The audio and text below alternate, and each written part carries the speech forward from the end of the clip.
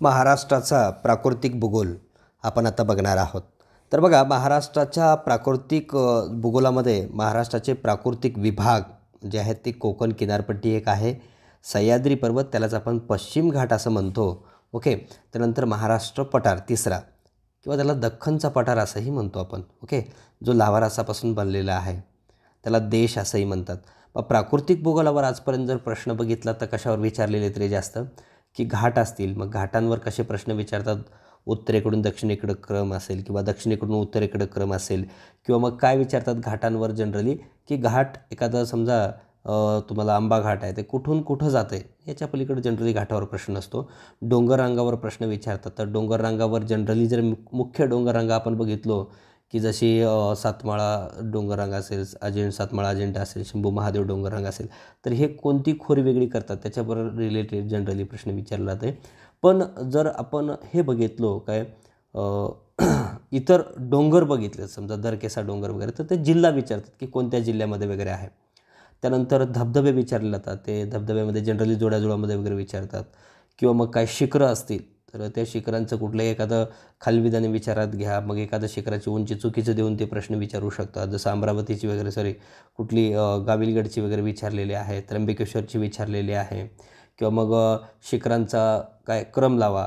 म्हणजे क्रम कसा लावायचा की त्यांच्या जे सर्वाधिक उंचीनुसार वगैरे कर क्रम लावा उतरता किंवा चढता असाही प्रश्न येऊ शकतो. आणि त्यामध्ये जनरली आता काय विचारतात बघा शिखरांमध्ये मुद्दाममध्येच घाट देत आहेत की बाबा तामिनी घाट वगैरे. मग ते आपलं उंची माहीत नसते किंवा मग मध्येच किल्ला देतात एखादा. त्याची उंची त्याच्यामध्ये विचारतात. मग जनरली आपला जर शिखरं विचारले तर आपला माहिती आहे आपल्या परिचयाची एक ट्रिक आहे. काय आपण म्हणतो रे?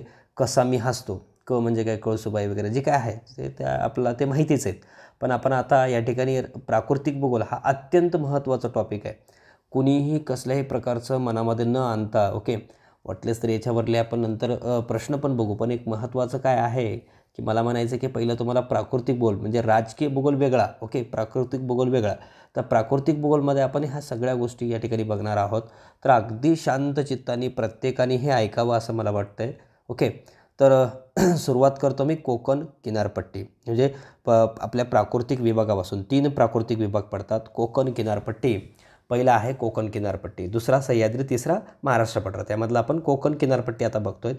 तर बघा कोकण किनारपट्टीवर जनरली आतापर्यंत प्रश्न काय विचारले तरी तर कोकण किनारपट्टी ही कशापासून निर्माण झालेली आहे? प्रस्तरभंग सह्याद्री पर्वताचा जो भाग आहे तो खचून निर्माण झाले याच्यावर एक प्रश्न आलेला आहे. किंवा मग ते तिथला जो ये आहे समुद्रकिनारा आहे ते कशा प्रकारचा आहे रिया प्रकारचा आहे कसा आहे वगैरे त्याच्यावर विचारलं आहे. रुंदी विचारलेलं आहे ओके? किंवा मग उत्तर कोकणापेक्षा दक्षिण कोकण खडकाळ आहे वगैरे असं काय याच्यावर वाक्य टाकून विचारलेलं आहे. आणि कोकण किनारपट्टीचं नावं विचारलेले आहेत बघा काय? की कोकणाला काय म्हणतात? की मूषक अळू कूपक अपरांत याच्यावर पण प्रश्न आलेला आहे. तर बघा आता आपण कोकण किनारपट्टी त्याबद्दल रुंदी जनरली सरासरी तीस ते साठ किलोमीटर आहे. किती? तीस ते साठ. पण आयोगाने एक वेळेस क्लर्क दोन हजार अकराला काय दिले रे बावन्न ते साठ किलोमीटर असं दिलेलं आहे. जर पर्यायामध्ये बावन्न ते साठ असेल तर निवडू शकता आणि कोकणाला जनरली परशुरामाची भूमी असं म्हणून ओळखतात. कोकणातील उत्तरेकडील भाग बेसाल्टपासून बनलेला आहे जनरली. आणि भा जर कोकणाचा जर बघितला तर कोकणामधला जो या आहे किनारा जो आहे रिया प्रकारचा आहे. म्हणजे असा झिकझॅक प्रकारचा आहे. ओके?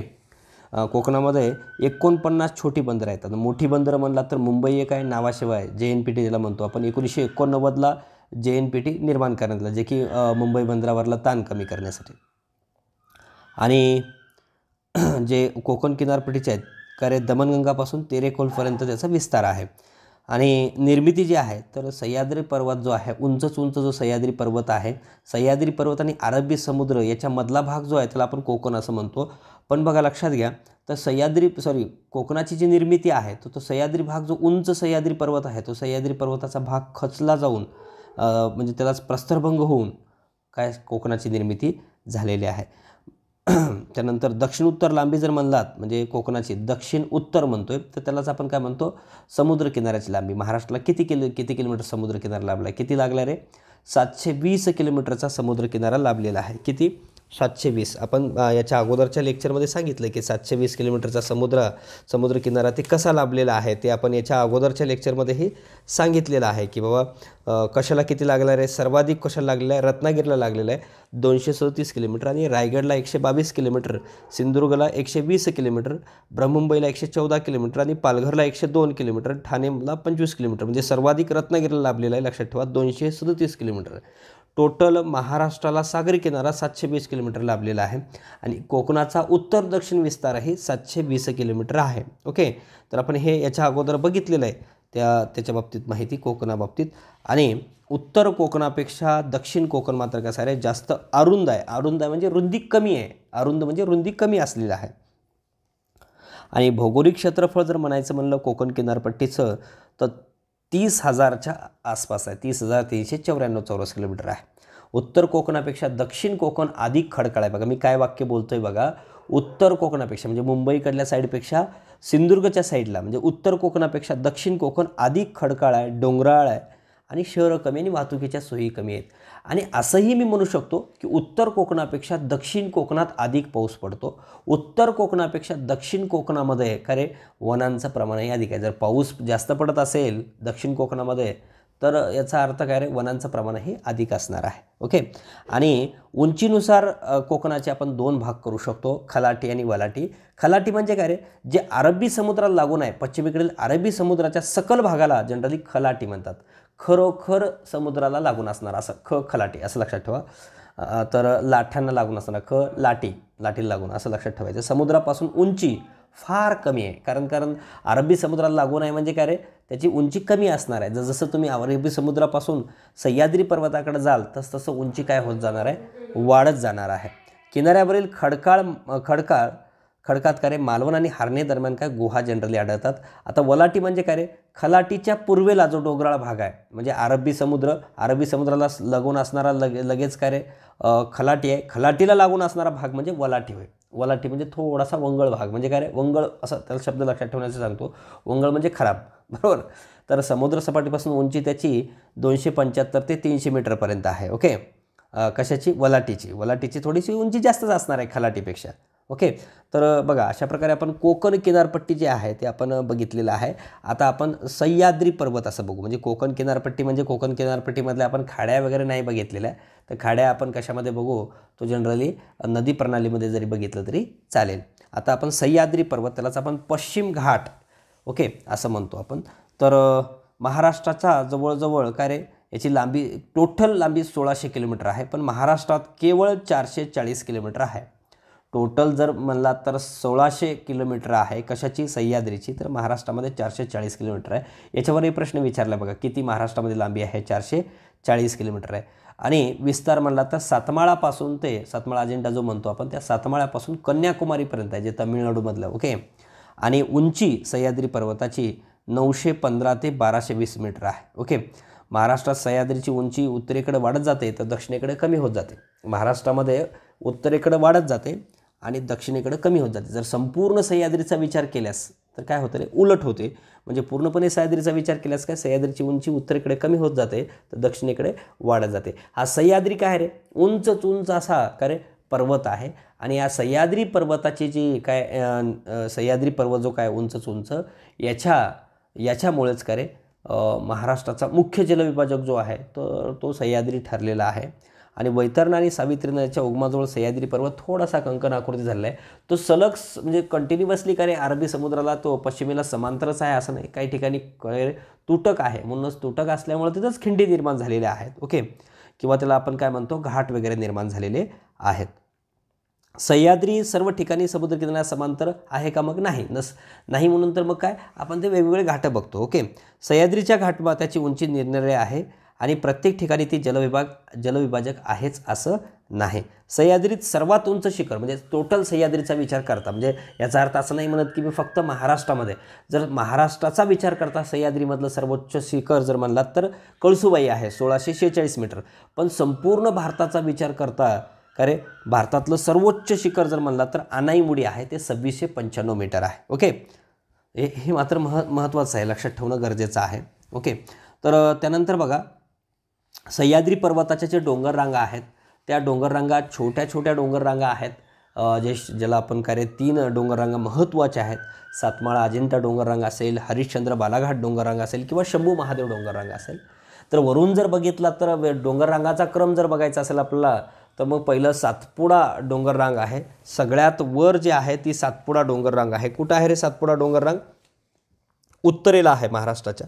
मग सातपुडानंतर कोणत्या रांगेचा क्रम लागतो? सातपुडा डोंगर रांगानंतर अजिंठा डोंगर येते अजिंठानंतर मग सातमाळा येते. आज सातमाळा अजिंठामध्ये सातमाळा पहिलं नाही येत. तर काय येते? अजिंठा डोंगर रांग पहिले येते. म्हणजे जर आपल्याला उत्तरेकडून दक्षिणेकडं जर या डोंगर रांगाचा क्रम बघायचा असेल तर पहिलं सातपुडा डोंगर रांग त्यानंतर अजिंठा डोंगर रांग त्यानंतर सातमाळा डोंगर रांग त्यानंतर मग हरिश्चंद्र डोंगर रांग त्यानंतर बालाघाट डोंगर रांग शेव सरते शेवटी शंभू महादेव डोंगर रांग आहे. बरोबर ना? आणि जर पठारं म्हणलात तर मग काय रे? पठारांचा उत्तर दक्षिण क्रम. बघा मी काय बोलतो आहे पठाराचा उत्तर दक्षिण क्रम म्हणलात तर पहिला तोरणमाळ पठार येईल जे की नंदुरबारमध्ये आहे. त्यानंतर मालेगाव पठार येईल त्यानंतर काय रे? बालाघाटचं पठार येईल त्यानंतर सासवडचं पठार येईल त्यानंतर औंधचं पठार येईल. त्यानंतर खानापूरचं पठार जे की सांगलीमध्ये आहे. आणि शेवटी ज काय जतचं पठार येईल. कसे? जतचं पठार येईल शेवट. ओके? आणि तेच जर तुम्हाला डोंगर विचारले नुसते डोंगर म्हणतो डोंगर रांगा नाही तर सगळ्यात वरी आस्तंबा डोंगर त्यानंतर अकराणी डोंगर त्यानंतर गाळणा डोंगर त्यानंतर वेरूळ डोंगर नंतर काय रे? बाळेश्वर डोंगर त्यानंतर तुमसाई डोंगर आणि नंतर सातमाई सॉरी सीतामाई डोंगर. म्हणजे हे शेवटी लक्षात घ्या सीतामाई डोंगर वगैरे. तर डोंगररांगाचा क्रम डोंगर बघितले आपण. डोंगररांगाचा क्रम बघितला आणि काय रे? पठारांचा जो काय या आहे तो क्रम आहे तो बघितला आहे आणि आता लक्षात घ्या तर सातमाळा अजिंठा डोंगररांग जे आहे सातमाळा अजिंठा डोंगररांग त्याबद्दल थोडंफार आपण बघू की सातमाळा नाशिक जिल्ह्यात आहे. तर गोदावरी व तापी नदी खोरं जर कोण वेगळं करत असेल तर सातमाळा अजिंठा डोंगररांग कळते कुठले रे? गोदावरी व तापी. कुठल्या दोन नद्यांचे खोरे वेगळे करते असंही विचारू शकतात. अजिंठा टेकड्याचा उतार उत्तरेकडे तीव्र व दक्षिणेकडे मंद आहे. विस्तार म्हणलात तर सातमाळा अजिंठा डोंगर रंगाचा नाशिकमधील तवला शिखरापासून बुलढाणा यवतमाळपर्यंत पसरलेली आहे. सातमाळा डोंगररांगेवर सप्तशृंगी देवीचं मंदिर आहे. अजिंठा डोंगररांगावर अजिंठा व वेरूळ लेणी आहेत जे औरंगाबादमध्ये स्थित आहेत. सातमाळ्याच्या उत्तरेला मालेगाव पठार तर अजिंठाच्या पूर्वेला बुलढाणा पठार आहे. ओके?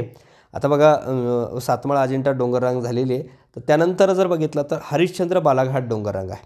तर महाराष्ट्राच्या पश्चिम भागामध्ये हरिश्चंद्र हरिश्चंद्र व पूर्व भागात बालाघाट डोंगररांग आहे. बालाघाट हा समा सपाट माथ्याचा प्रदेश आहे. म्हणजे सपाट आहे ओके? आणि खोरी कोणतं वेगळी करते रे? हरिश्चंद्र बालाघाट डोंगररांग तर गोदावरी व भीमा या नद्यांची खोरे वेगळं करते.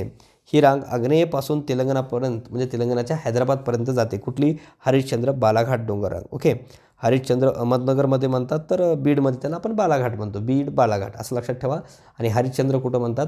अहमदनगरमध्ये म्हणतात. या डोंगररांगेवर शिवनेरी किल्ला आहे. ओके? आता शंभू महादेव डोंगररांग सगळ्यात शेवटी म्हणजे दक्षिणेला असणारी कोणती आहे रे? तर शंभू महादेव डोंगररांग आहे. रायरेश्वरापासून शिंगणापूरपर्यंत पसरलेली आहे. ही डोंगररांग सातारा व सांगली जिल्ह्यातून पुढं कर्नाटकमध्ये जाते. ही खोरी कोणती वेगळी करते रे शंभू महादेव डोंगररांग? भीमा व कृष्णा नद्यांची खोरे ही शंभू महादेव डोंगररांग वेगळी करते. टेबललांड या नावानं पाचघणी पठार प्रसिद्ध आहे. याच याच्यावर आहे. ओके. थंड हवेचं ठिकाण पण आहे ते. आणि विस्तार म्हणला शंभू महादेव डोंगररंगाचं महाबळेश्वरपासून खरे? सातारा सांगली जिल्ह्यातून पुढं कर्नाटकमध्ये जाते. तर याला आपण शंभू महादेव डोंगररंग का म्हणतो रे? कोण सांगतंय का? साताऱ्यामध्ये एक शिखर शिंगणापूरचा महादेव आहे. आणि त्या महादेव मंदिरामुळे याला जनरली शंभू महादेव डोंगररंगाचं नाव पडलेलं आहे. लक्षात तर आपण जे काय सह्याद्री पर्वताच्या डोंगररांग आहे शंभू महादेव डोंगररांग हरिश्चंद्र बालाघाट डोंगररांग आणि काय रे सातमाळा अजिंठा डोंगररांग एवढ्या बघितलेल्या आहेत. ओके?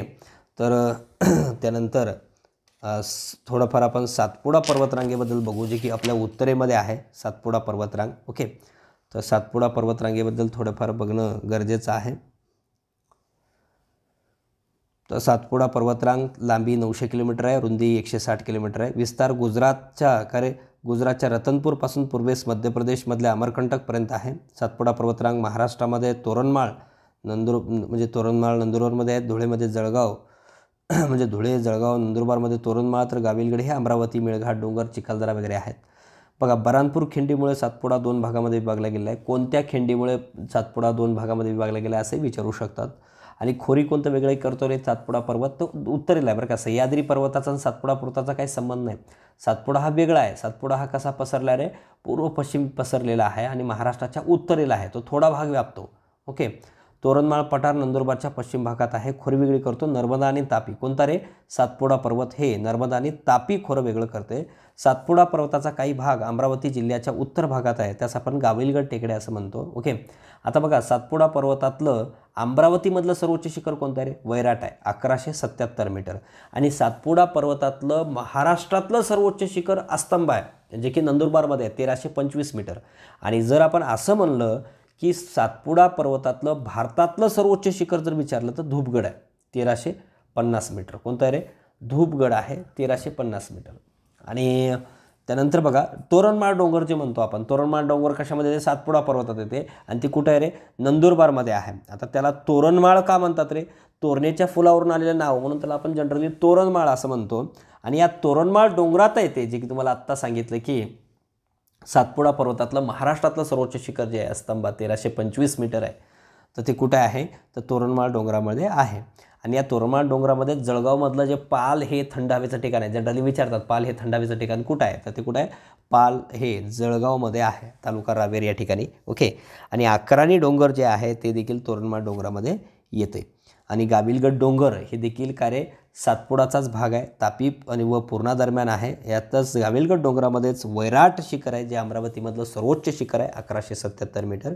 या गाविलगड डोंगरामध्ये चिखलदरा हे थंड हवेचं ठिकाण आपल्याला आढळते. आणि गाविलगड डोंगरामध्येच मा- गाविलगड डोंगरालाच आपण मेळघाट म्हणून काय ओळखलं जातं आहे आता आपण अरे महाराष्ट्रामधल्या काही महत्त्वाच्या डोंगर रांगा बघू सॉरी डोंगर बघू. आता आपण डोंगर रांगा वगैरे बघितलेला आहे. तर आपण महत्त्वाचे डोंगर बघू ज्याच्यावर प्रश्न जुळाजुळामध्ये विचारले जातात ओके?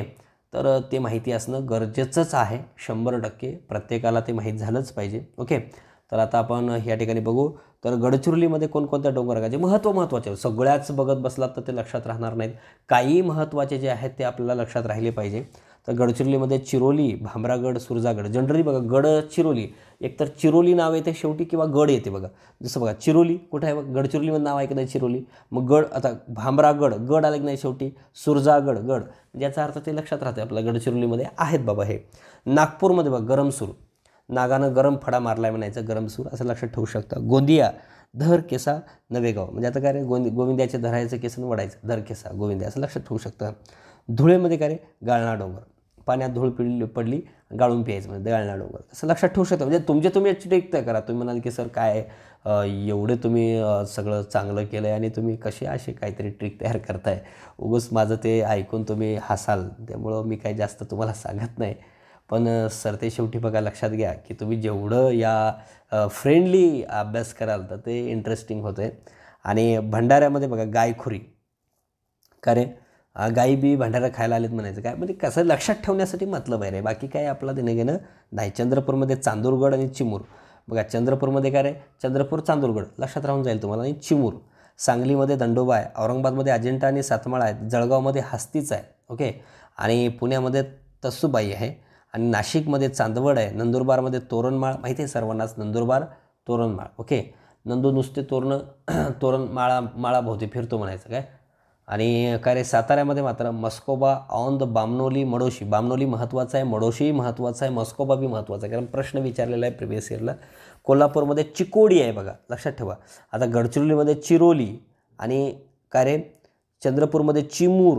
आणि जर म्हणलात का रे साताऱ्यामध्ये सॉरी कशामध्ये म्हणलं कोल्हापूरमध्ये मध्ये म्हणलात तर चिकोडी डोंगर रांग आहे. चिकोडी ओके आणि दूधगंगा दूधगंगा आहे ओके अमरावतीमध्ये गाविलगड चिरोडी आहे. बघा चिकोडी कोल्हापूर चिरोडी अमरावतीला आहे. आणि Chiroli Gadchiroli. Chiroli Gadchiroli. Okay Amravati Chirodi. D Amravati D. आणि का रे? कोल्हापूर म्हणला तर चिकोडी. ओके चिकोडी चिरोडी. आणि जीवनगड डोंगरा आणि मेळघाट जो आहे तो मात्र अमरावतीमध्येच आहे. एवढ्याच डोंगर रांगा लक्षात ठेवा जनरली सॉरी डोंगर जे काय आहे तेवढं लक्षात ठेवला तरी सफिशियंट आहे. याच्या बाहेर जनरली प्रश्न विचारला जाणार नाही. आणि आता आपण महाराष्ट्रामधले जर शिखरं बघायचं म्हणलं तर महत्त्वाची जी शिखरं आहेत तर जगातलं सर्वोच्च शिखर कोणतं आहे रे? जगामधलं. कोण सांगतंय? ग जगामधील सगळ्यात मोठं सर्वोच्च शिखर कोणतं आहे? जगामध्ये सर्वोच्च शिखर माउंट एव्हरेस्ट आहे. आठ हजार आठशे अठ्ठेचाळीस मीटर आहे जे नेपाळमध्ये आहे. ओके? हिमालयामधलेच आहेत जे आता सर्वोच्च शिखर आहेत. भारतातलं स म्हणजे जगामधलं दुसऱ्या क्रमांकाचं जरी असलं तरी भारतामधलं सर्वोच्च जरी असलं तरी ते कुठं आहे तरी हिमालयामध्येच आहेत. ओके आता सातपुडा पर्वतात जर विचारलं सॉरी सातपुडा आपण एक एक बघू. पहिलं जगातलं सर्वोच्च शिखर कोणतं आहे? आठ हजार आठशे अठ्ठेचाळीस मीटर हिमालयामध्ये आहे. आणि भारतातलं सर्वोच्च शिखर जर म्हणलं तर के टू आहे. त्याला आपण गॉडविन ऑस्ट्रीन म्हणतो. आठ हजार सहाशे अकरा मीटर ते भारतामध्ये आहे जम्मू काश्मीरमध्ये आहे. बरोबर? आणि पूर्व हिमालयातलं सर्वोच्च शिखर जर विचारलं तर कांचनजंगा आहे. आठ हजार पाचशे अठ्ठ्याण्णव मीटर. बऱ्याच ठिकाणी वेगळं दिलं असेल पण स्टेट बोर्डच्या रिलेटेड आठ हजार पाचशे अठ्ठ्याण्णव योग्य आहे. ओके? आणि त्यानंतर महाराष्ट्रातलं सर्वोच्च शिखर म्हणलं तर कोणतं आहे रे? कळसुबाई आहे सोळाशे शेहेचाळीस मीटर. मी सर्व म्हणजे प्रत्येक ठिकाणचे सर्वोच्च शिखर जनरली सांगतोय जे बा वारंवार प्रश्न येऊ शकतात. आरवली पर्वतातलं सर्वोच्च शिखर बऱ्याच वेळेस विचारलं की आरवली पर्वत जो आहे तो आपल्या कुठे आहे? रे राजस्थानच्या तिथं आहे. डमरूसारखा याचा आकार आहे आरवली पर्वताचा. लक्षात ठेवा. म्हणजे आरवली पर्वत जो आहे तो तिथं संगमरवरीचे दगड वगैरे आढळतात ओके? आणि आरवली पर्वत हा वाऱ्याच्या दिशेनं समांतर आहे. म्हणून तर मग राजस्थानमध्ये काय पाण्या म्हणजे वाऱ्याला आडून पाऊस पडत नाही. राजस्थानला त्याचा बेनिफिट होतच नाही. तो वाऱ्याच्या दिशेनं समांतर असल्यामुळं तर राजस्थानमध्ये पाऊस म्हणजे पडत नाही. म्हणजे त्यामुळं तर जैसलमेर वगैरे भागामध्ये तिथं वाळवंट वगैरे निर्माण झालेले आहेत. बरोबर ना? असो पण बघा महाराष्ट्रातलं सर्वोच्च शिखर सांगितलं की तुम्हाला कळसुबाई सोळाशे शेहेचाळीस मीटर ते नगरमध्ये आहे. आणि पश्चिम घाट म्हणजे सह्याद्री पर्वतातलं सर्वोच्च शिखर म्हणला तर अनाईमुडी आहे सव्वीसशे पंच्याण्णव मीटर आहे. आणि आरवली पर्वतातलं सर्वोच्च शिखर कोणतं? आहे गुरु शिखर आहे. सतराशे बावीस मीटर आहे ते राजस्थानमध्ये आहे ओके? आणि विंध्य पर्वतातलं सर्वोच्च शिखर कोणतं आहे? ते सद्भावना आहे. महत्त्वाचं आहे विंध्य पर्वतातलं सर्वोच्च शिखर कोणतं आहे? तर ते आहे सद्भावना आहे सद्भावना. ओके कुठलं? सद्भावना चांगली भावना. कळते का रे?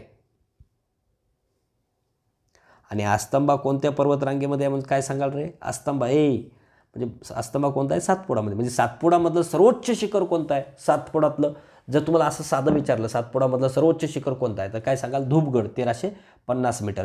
पण जर तुम्हाला महाराष्ट्रामधलं सातपुडा पर्वतातलं सर्वोच्च शिखर विचारलं असतं तेराशे पंचवीस मीटर कोणतं आहे रे? आस्तंबा सांगावं लागेल. आणि तेच जर तुम्हाला सातपुडा पर्वतातलं अमरावतीतलं सर्वोच्च शिखर विचारलं असतं ते कोणतं आहे रे? अकराशे सत्याहत्तर मीटर.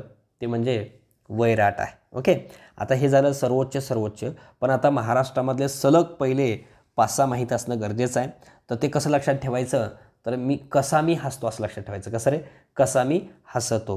म्हणजे क म्हणजे कळसुबाई सा म्हणजे सालेर मी म्हणजे महाबळेश्वर ह म्हणजे हसतो म्हणजे काय हरिश्चंद्र स म्हणजे काय सप्तश्रिंगी तो म्हणजे तोरणा. म्हणजे पहिले सा लक्ष आले का रे? कसा मी हसतो. म्हणजे कळसुबाई सोळाशे शेहेचाळीस मीटर अहमदनगरमध्ये आहे. सालेर पंधराशे सदुसष्ट मीटर नाशिकमध्ये आहे. महाबळेश्वर चौदाशे अडतीस मीटर साताऱ्यामध्ये आहे. हरिश्चंद्रगड चौदाशे चोवीस मीटर अहमदनगरमध्ये आहे. सप्तश्रृंगी चौदाशे सोळा मीटर नाशिकमध्ये आहे. त्यानंतर तोरणा चौदाशे चार मीटर पुण्यामध्ये आहे. हे पहिले सहा झाले. मग त्याच्यानंतर म्हणला तर मग आस्तंबा आहे.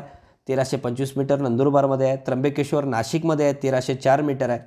तवला बाराशे एकतीस मीटर आहे. नाशिकमध्ये आहे. वैराट अकराशे सत्याहत्तर मीटर आहे. अमरावती चिखलदरा अकराशे पंधरा मीटर अमरावतीमध्ये आहे. हनुमान एक हजार त्रेसष्ट धुळ्यामध्ये आहे. ओके?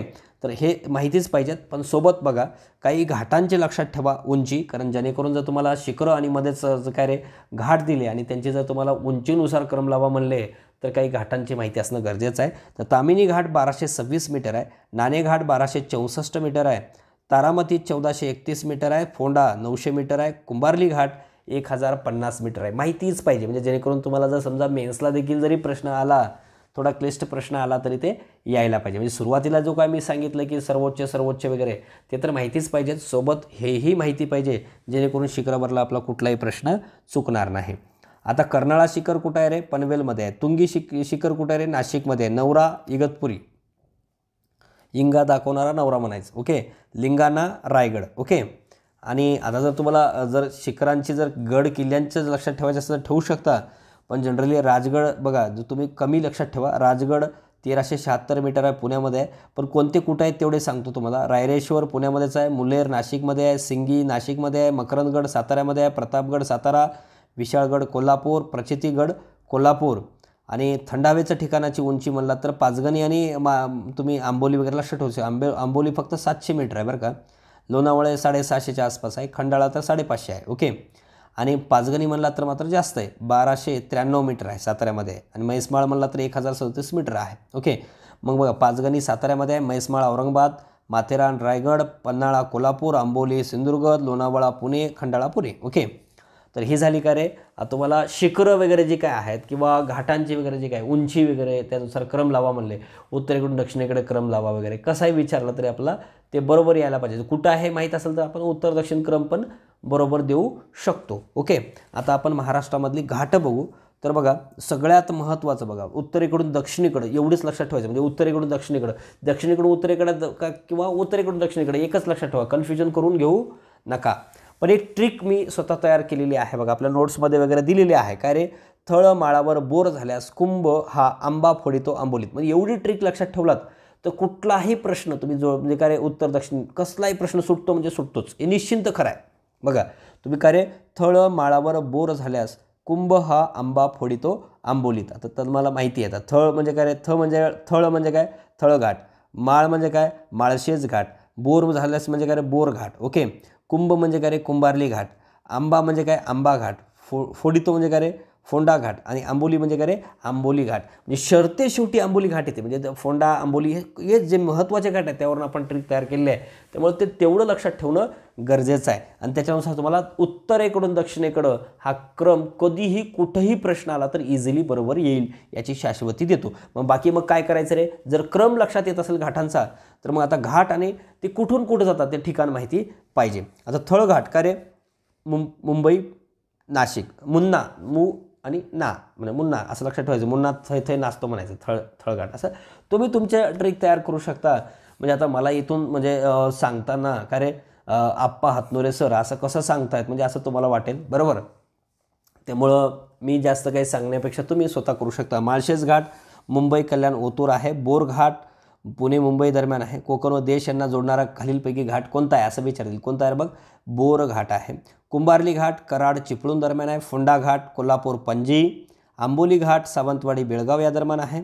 आता आंबा घाट म्हणला तर काय रे? कोल्हापूरची अंबादेवी आहे. मग त्यानुसार लक्षात ठेवतो असू शकतो आपण. कोल्हापूर रत्नागिरी. दिवा घाट पुणे बारामती. आणि आम खंबाटकी घाट पुणे सातारा आहे. हनुमंते घाट बऱ्याच वेळेस विचारलं बघा हनुमंते घाट. काय रे? कोल्हापूर कुडाळ दरम्यान. कोंडी घाट देवरुख कोल्हापूर मार्ग. पसरणी घाट वाई आणि पाचगणी दरम्यान. आंबे आंबेनळी घाट महाबळेश्वर महाड दरम्यान आहे.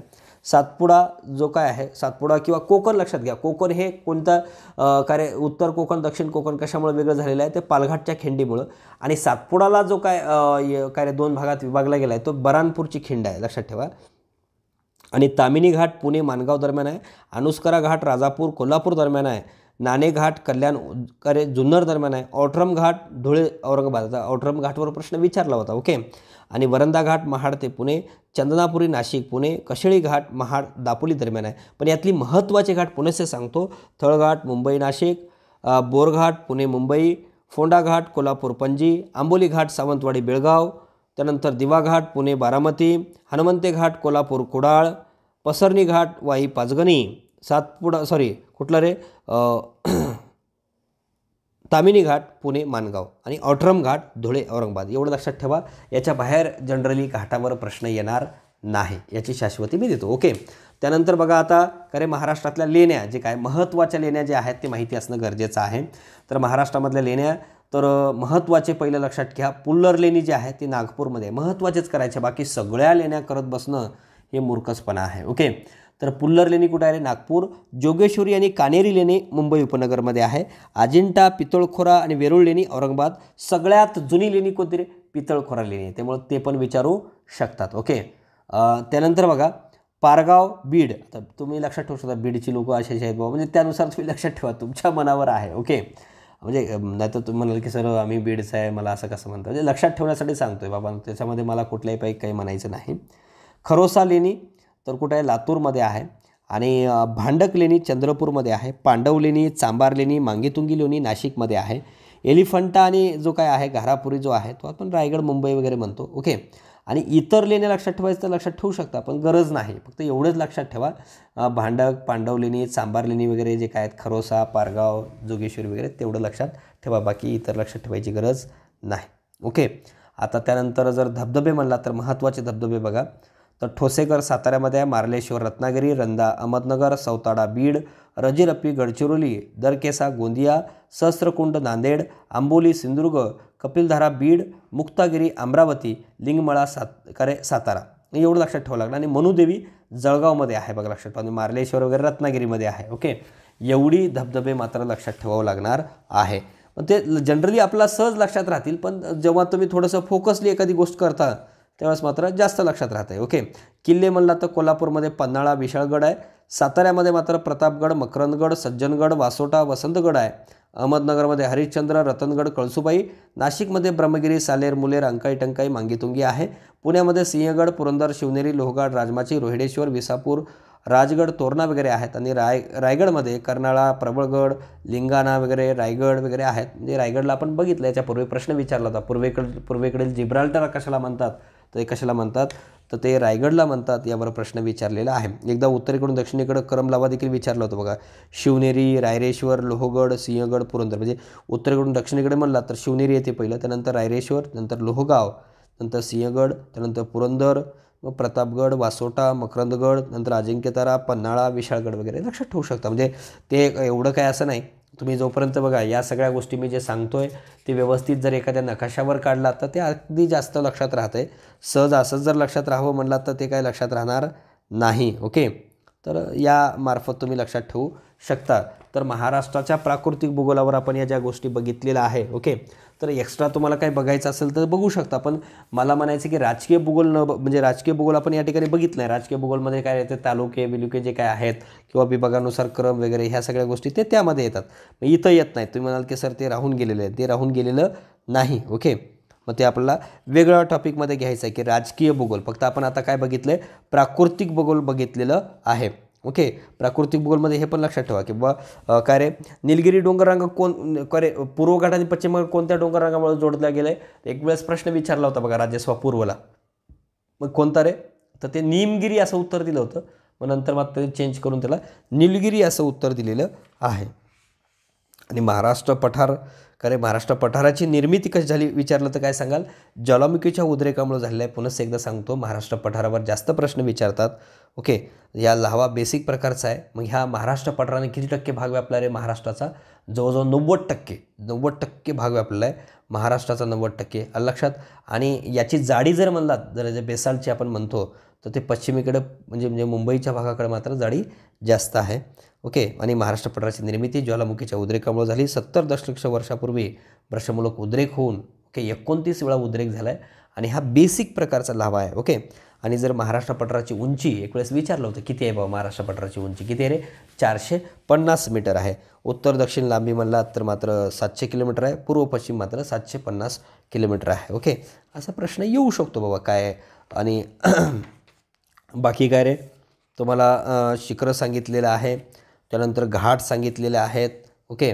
आणि जर तुम्हाला नदी आणि खाडी म्हणला तर मात्र आपण फक्त कशामध्ये बघू येते? की नदी प्रणाली या टॉपिकमध्ये ते बघून घेऊ समोर पुढे. आणि जिल्हा पुनर्रचना वगैरे ते कशामध्ये येतील ते? ते पण कशामध्ये येतील? राजकीय भूगोलमध्ये येतील. एवढ्या सगळ्या गोष्टी या ठिकाणी आपण बघितलेलं आहे. मग याच्या बाहेर सजासजी जाणार नाही. म्हणजे किल्ल्यामध्ये मग जलदुर्ग विचारलं तर काय सांगाल? जंजिरा म्हणजे जलदुर्ग म्हणजे जे पाण्यामध्ये आहेत. जंजिरा सिंधुदुर्ग विजयदुर्ग जे आहे ते पाण्यामध्ये आहेत. आणि भुईकोट म्हणला तर नळदुर्गला आहे कंदारला आहे अहमदनगरला वगैरे आहे. ओके? आणि गिरिदुर्ग म्हणलात म्हणजे उंच टेकडीवर वगैरे जे काय शिवनेरी रायगड सिंहगड दौलताबाद वगैरे आहेत. ओके?